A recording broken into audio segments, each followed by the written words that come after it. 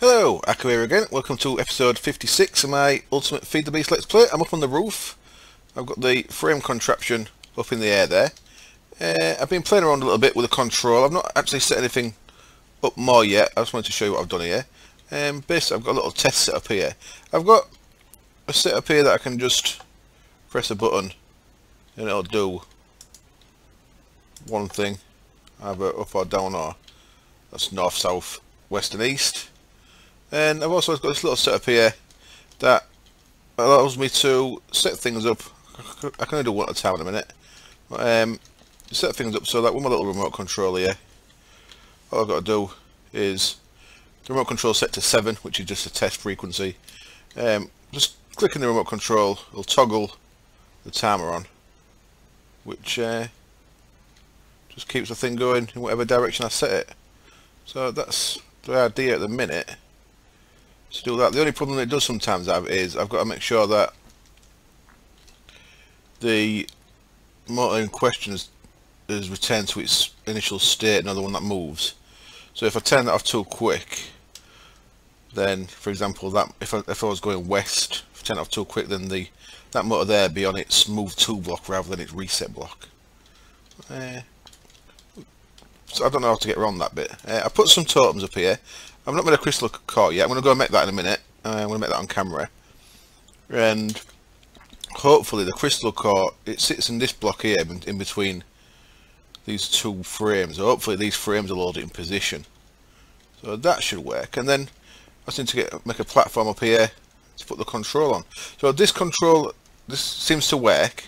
So I'm going to duplicate this six, well, five more times and put this down in the basement. Uh, I can use them, so I need some receivers, some toggle switches, some NOT gates, some timers. That's what's going on here. So yeah, that's a toggle switch.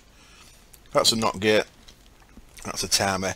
So basically the NOT gate keeps the timer turned off and then when the toggle switch is toggled it turns the NOT gate off which lets the timer spin.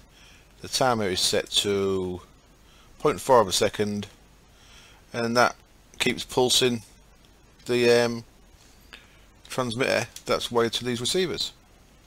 Make sense? I hope so. And some of you may notice on the front there I've got a little thing that I've been playing with, see how it looks. And for this I have to send it up a little bit higher there. I say that's the front, uh, I don't know what the front or the back is.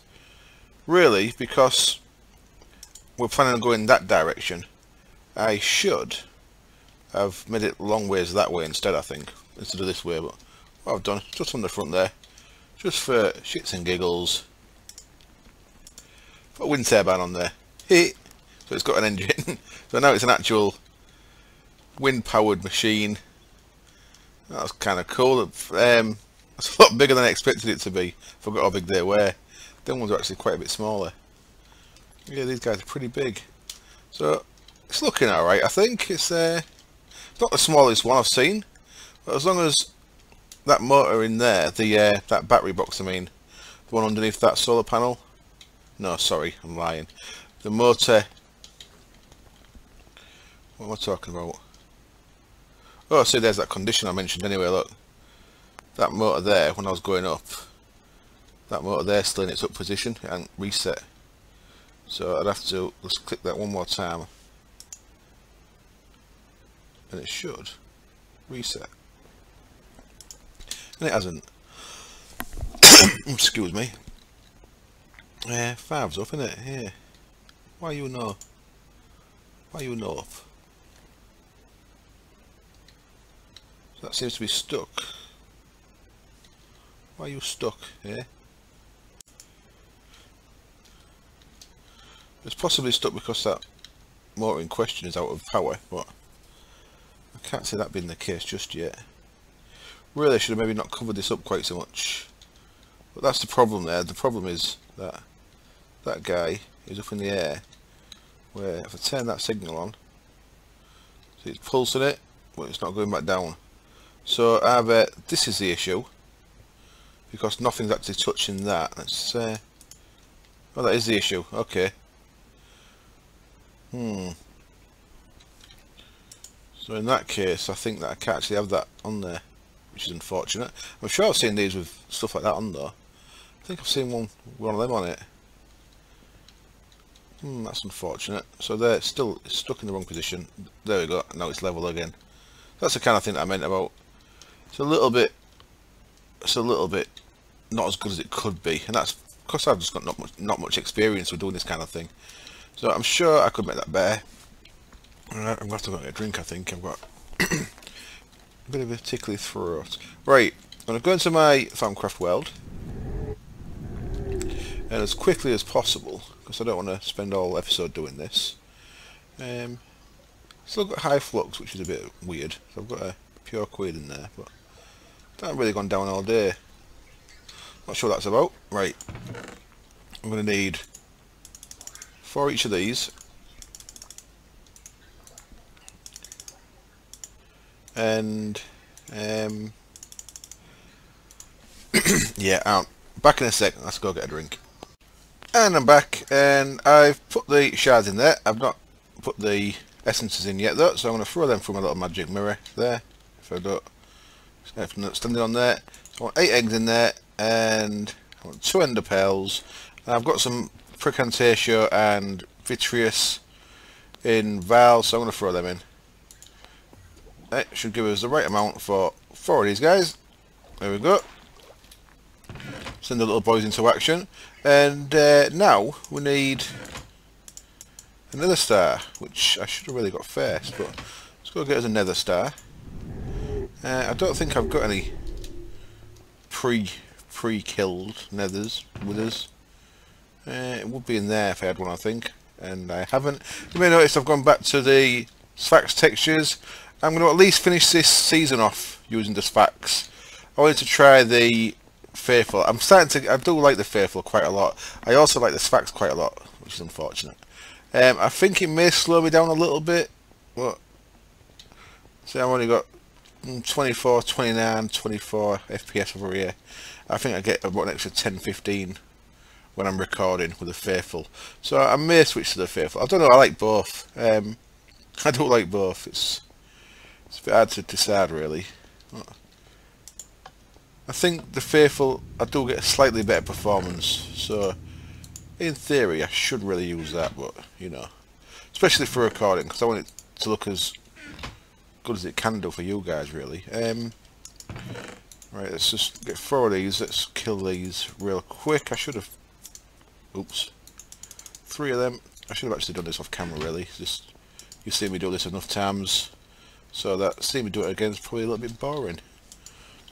Um, if you did, if you downloaded the world yesterday, I it was episode 55 yesterday, so well today as I'm recording this, but um, if you downloaded the world, I put some some fresh holy hand grenades in there, so if you to have a go at this, um, because the holy hand grenades got lost when uh, I had to revert the world. The ones I made the other day got lost. ridiculous. It is a bit ridiculous, I must admit, that the wither dies so easy using them hand grenades. They are pretty cool, and they're quite expensive to make. I mean, eh, well, they're not particularly expensive. Oh, speaking of that, I meant something else there. I meant to mention it. I forgot all about it. Um, look at this guy. It's called a Sojourner's Staff. Consumes torches, can be used to place in long distance, but costs extra. So what that's got is it's durability bar there, it's got 8 stacks of torches in it. So if I want to place a torch, I'll just put a torch down. But I can place torches right over there. But that uses more than one torch to place it right over there. Uh, the further away, it goes up to 8 torches. So you can, I don't know how far away you can place them. Oh yeah, look at that. Real far. So, uh, yeah, you, but placing them at a distance like that does cost more torches. But it's pretty cool that you can place them that far. Crazy, I didn't think it'd be that far. So uh, I'll just show you the recipe of that real quick. It's called a Sojourner staff. It's part of Xeno's reliquary, same as the holy hand grenades. A couple of magma creams, some gold, blaze rod, and two glowing water. So quite cheap. Um, the only thing that really held you back making that early game is the glowing water needs nether wart. It needs glowstone. The condensed flesh serum needs nether wart, so you'd have to go into the nether. Because that's obviously the only place you can get nether wart from to start off with. You can grow it in the other but you have to go to a fortress to actually get the first bit. But uh, yeah, pretty cheap and it's quite cool. Like eight stacks of torches in there, so you're not going to run out for a while. Pretty cool. I like it. I like it. Um, right. Back to it. Now, I'm not really sure which aspects we need for this. So let's have a look. 8 magic, 8 mutatio, 8 alienis, 8 vacuos. Right, that's easy enough. So, we've got any chests in there? We have two chests, ender pearl, two ender pearls gets us the uh, alienis and the frequentatio. What else was it? 8, 8, 8, and two mutatio, so I should have some of that in here. Mutatio, one of them, excellent, easy enough. Bang all them in there. And that. There we go, one crystal core. Hooray! Now, um, should be a little bit leftover green stuff in there. Yeah, I'm just gonna get rid of that with my wand so I don't forget. Shift right click that and I'll put that into the atmosphere. But we don't really care. And okay, let's go back and see if this moves on the frame rig. Where, wrong way. I put the doors back up before I put the weld for download as well. I don't know if I did that. I think I did that after yesterday's episode. Huh, I thought it had gone then. I thought I'd lost the damn thing. Um, I should bring that back down, shall we? Alright. Oh, that's uh, that's not good. That means it must have run out of battery, maybe. Otherwise it shouldn't have stopped. Hmm. So down, and this probably won't come down because it's coming down. Why wasn't it going up then? I think that, yeah, I've got an inkling that that motor, the one that I think is not getting any power, has run out. Which means my design's flawed. I need to move all this full section up one, I think. Which is a bit of a shitter. Hopefully, with um, an update to Red Power at some point, there'll be... Now, will you sit in there what? Probably shouldn't do this while it's moving, to be honest. But let's bring it right down to the earth. Come on, hurry up this last thing. Um, hopefully at some point there'll be an update to these frames that add blue. No, you, you can get the. I've actually got one there. I've got a redstone tube frame. I want to see if it'd carry the current better in that block there, but it didn't. Um, well, it could do, but I'd have to put some jacketed wire either side, so it ended up taking up more space than what I was actually using. We down? Have we landed? Yay! We've landed. Okay. Let's see if this guy sits where he should. So that sits there. I think that's the right place. Um, I'd have to hit it with a wand, but that'd actually activate it and start pulling a node to it. And I don't actually want to do that yet. Unless, do I want that node? There's a node over there somewhere. I suppose I could pull it up here. It's no big deal. Let's, uh, first of all, let's see if this thing moves with that on it. That's, that sounds like a good idea, doesn't it? Let's, let's move it up. And of course, it's not going to do that if the battery's dead like I think it is. Hmm. Is that the issue, do we think? Well, it's a bit of a bastard if it is the issue. Uh, oh, six is down anyway. Five's up. Five does not want to go up. Let's just change that so we can actually see up here using the remote. Make sure that's triggering correctly. So it's trying to pulse that engine there, that motor, and nothing's happening, so I think that motor's dead. So I'm going to cut camera in a minute. Uh, we can test this if it'll work by going west or east, so or north or south. So there we go, and it took the crystal core with it. So that's good. And that started its animation, as if it's uh, as if I've triggered it, but I don't know what I am. but I see its animation in there. I think maybe it just did that because it moved. Right, what I'm going to do is I'm going to actually do that. I'm going to bring that node that's down there up here. See if this works where it is. No, doesn't seem to. Should suggest I put it in the wrong place. Might mean it needs to be one higher. Or I might mean that there needs to be a gap between these. The problem is, if I break it, uh, it falls to bits. I have to remake it again. So have I put it in the wrong place? That's the question. I think I made on. She's a bit of a bastard. Right, back in a bit. Okay, I'm back, and I did it in the wrong place, and the way I've started it is I've dug a little hole in the floor, and I brought it down one more, so the struts, as we call them, are actually one lower. They're buried at the minute, and this should be pulling a node from somewhere, if it's uh, capable of pulling a node far enough. Now, nothing guaranteeing that it is capable of pulling it from that far. I don't quite remember how far it is.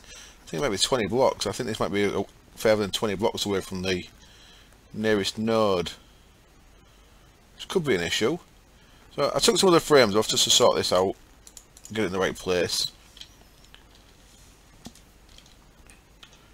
It's actually the second crystal core. I actually made it, um, I remade it once and uh, placed it exactly the same bastard place. So I thought, alright, remaking it again.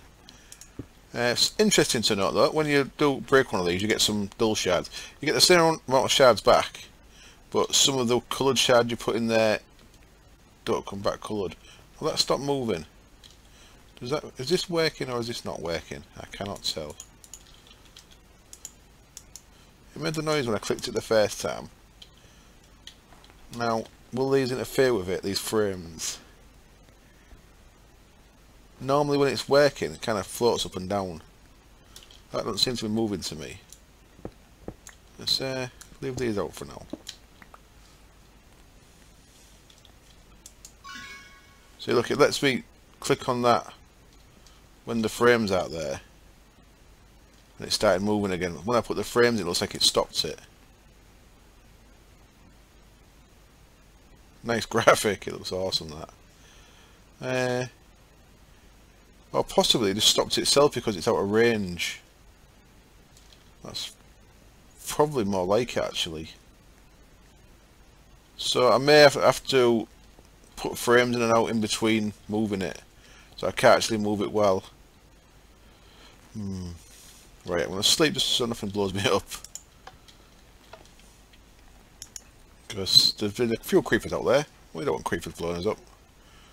When we're logic and stuff, it'll really upset me that. Now, we can't move the contraption up because of this charging issue. So, alright, let me just try that one more time then. Let me try that with frames in. And of course, because that's one block higher, if we, get, if we want this to work while it's moving, we need at least one frame up there. And I just don't think this is going to work. So it's not making the clicking noise. The uh, it's not making the striking noise, the magic noise. So let's just to test. Oh, I need to crack the crystal. Didn't mean to do that. Get off me. Let me up. So if this works now, it did.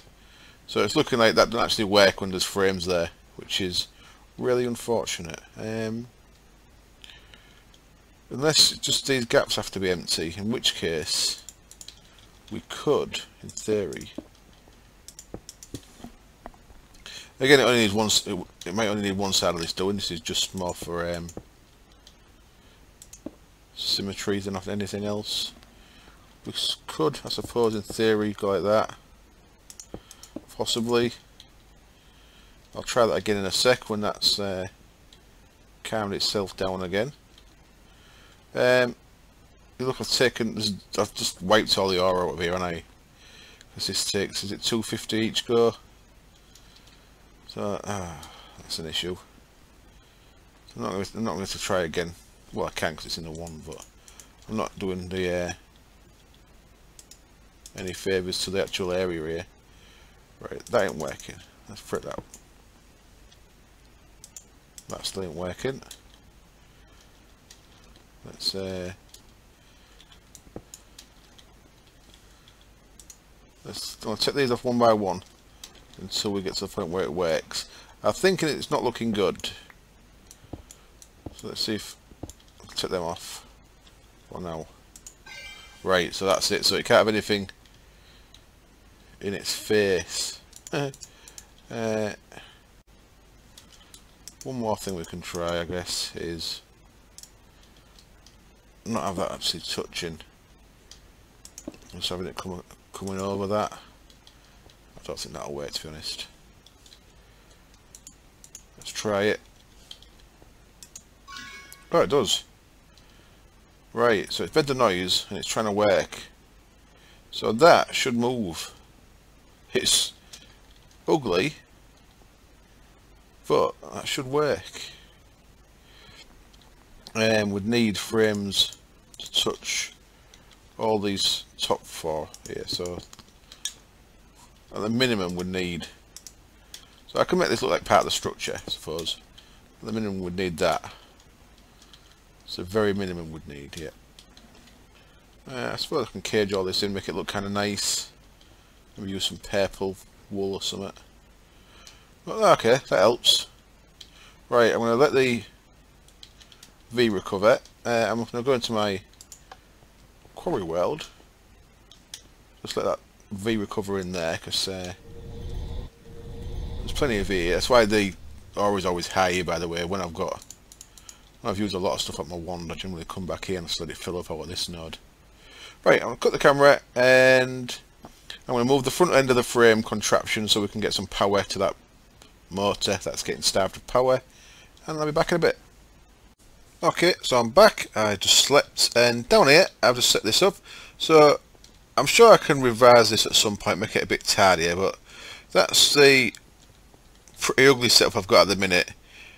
I've got wireless transmitter for frequency for direction down, and I've got a matching frequency for button down. So that'll be the button that I'm going to be setting these to. So at the minute um, I'm not going to put any control for actually directing it on the platform. I'm just going to use this remote so um, 7 through 12 is what I'm going to turn the directions on with. So I'll be going up first for example. So we'll set that to up. So button up button up would turn that on. If we go outside the contraption should be going upwards and it is. Excellent. So let's have a look out here. So what I've done out here is I've see that's that issue again there. Look the uh, the motor went reset. That should be not there the down one. Um, so I'll just change that to down.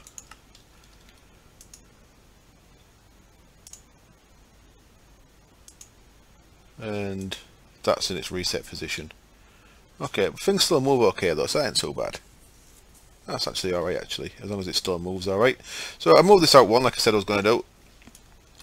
And with an extra bit of blue jacketed wire, these engines are both getting charged now. Um, I really don't know why they don't share power between them. As, as my understanding, all blue electricity stuff did, but it clearly doesn't. This is a bit messy. I've not put any covers or anything on it, but I'm going to start sending it towards the temple over there, and it's a long way. It's uh, I won't I won't lie, it's a long way.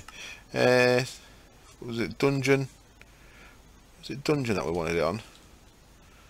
If it is, it's over a thousand meters away. Oh, there it is. Yeah, it's over a thousand meters away. So let's start sending this guy east. And I'm going to cut the camera, I'm going to follow it, put on east. And uh, I'll see in about an hour when it's there. See in a bit.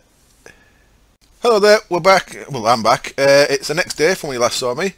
Uh, may sound a bit of a mess because my sister turned up this morning and made me go for a run with it. And I had gone for a run for a long time. So I'm in a bit of a state. I've got a bit of lung burn. Um, I started this up yesterday and for some reason I have to press K to get my jetpack working when I log on. I don't know what's going on there.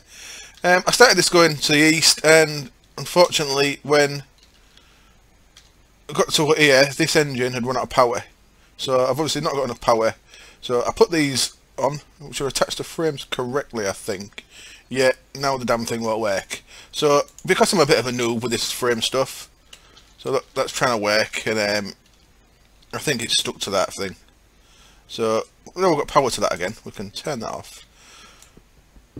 We can do this, and hopefully that should work again now. But I've picked everything up, two batteries yet, two solar panels. Let's try and out. So no, that's stuck. So whatever I've done has cocked something up. Um, someone in the comments recommended that I look at a mod, uh, sorry, mod, a post on the forum with a 4x4x4 motor, motor, frame motor, and it looks very good. I'm actually thinking of making that instead. So I don't think I'm going to do it on camera because it's going to take too long. I'm going to try and work that out. This isn't working because I don't know enough yet about this. I'm going to learn though. Um, see, that motor's stuck up there. That should be there. Uh, that one looks alright, I think. No, no, that one should be down as well. So all my motors are getting a bit messed up. Something is... Oh, this seems to have slid across. Moved across one, so I don't know what's going on there either. So it's not quite working, unfortunately. Um, I've got an idea though. I'm going to do a 4x4x4 square one and see how he's powered that. I'm not sure. I've looked at the pictures. There's no video of that, so I'm going to make that, and I'm actually going to make a separate video of that so I can put put it on the guy's thread so people can actually see a video of his uh, of his creation. Because it there's there's still pictures of it that kind of show to make it, but I think a video might be useful. Um, and I've got an idea. I've got an idea. What I'm going to think, what I'm thinking of doing. I was I was going to keep it a secret, but thinking of doing is I can put the crystal section below the motor. And because it's square I can kind of build up the frame and make it like a hot air balloon possibly. And then it don't matter which direction it goes in because it's a hot air balloon and they don't have a so if I make it symmetrically if I make it round it might look pretty cool but it's going to take me a long time unfortunately. So uh, I'm going to do that off camera. I'm going to finish this episode pretty soon. I, I kind of got stuck with this last night, so I thought I'm going to sleep on it, try and get some ideas.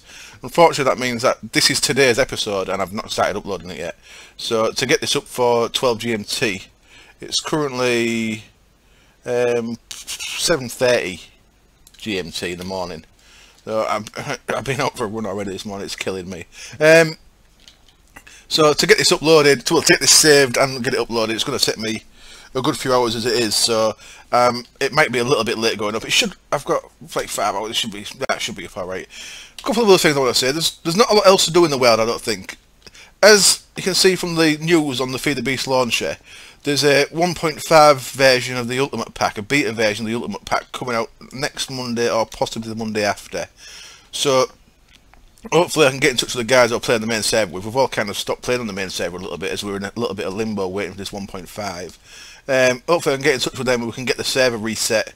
And um, I'll be starting season 1 of the Let's Play on the beta 1.5 version of the server. It's, it's, it sounds like it's going to have most of the mods, some new stuff like Tinker's Constructs, new version of MineFactory, um, obviously updated version of Applied Logistics, stuff like that. It's not going to have red power, but it might be added later once Eloraam's got a working version of it. And the recommend is for a new world to restart your world, so we was going to do that anyway. And Slowpoke thinks that it's going to be compatible with 1.6 version when that comes, so we shouldn't have to start the world again. So hopefully we'll be able to start that next week, and I'll be starting a fresh series on um, with all new mods. So I, I think at this point I don't think starting up um, a GregTech mass, um, what's it called, fusion reactor, it's probably going to be worth it. But depends if over the next few days if I run out of stuff to do, I'll I, I might just update that anyway and just throw one together because I think I've got the materials.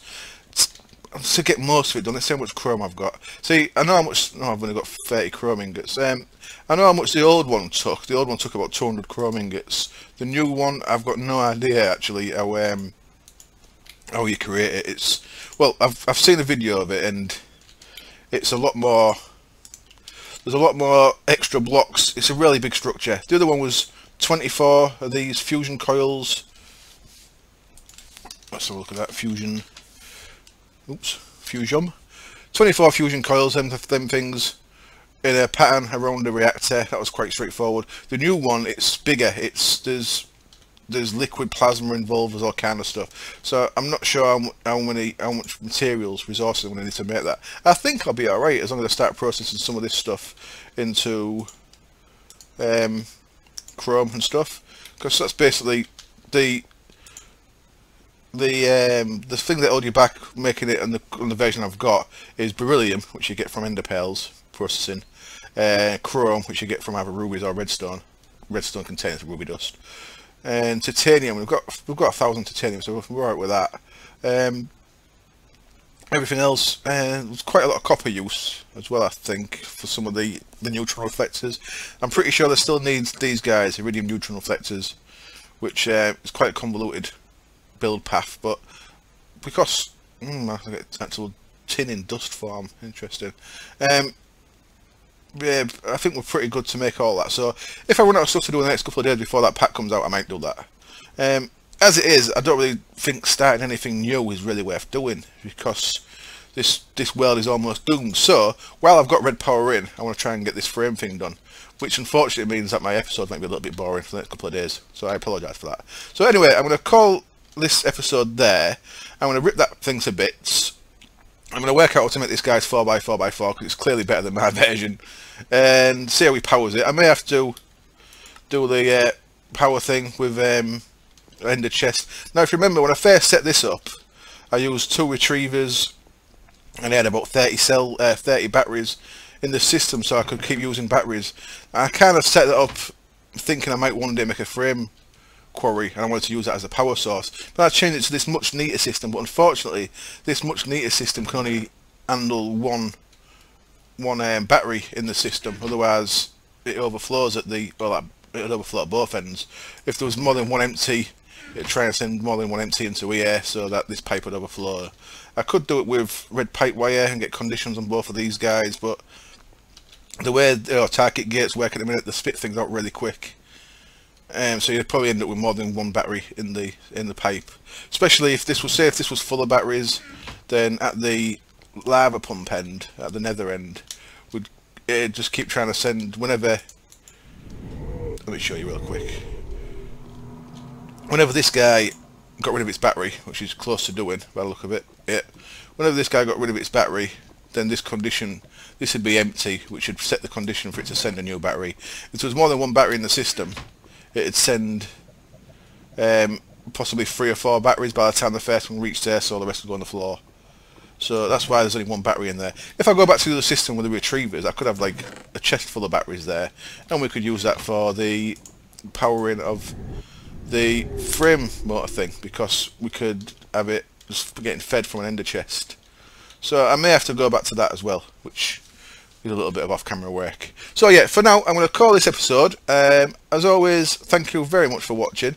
I hope it was entertaining. I hope um, it's not too much of a issue that my little idea here is quite tragically flawed. Um, we've got the basic gist. We know we can move a crystal core at least. And I think this new version, this idea that I've got, if I can make it work, should work pretty well, I think should work pretty well. So yeah, thank you very much for watching, and I hope you join me next time. Cheers. Bye.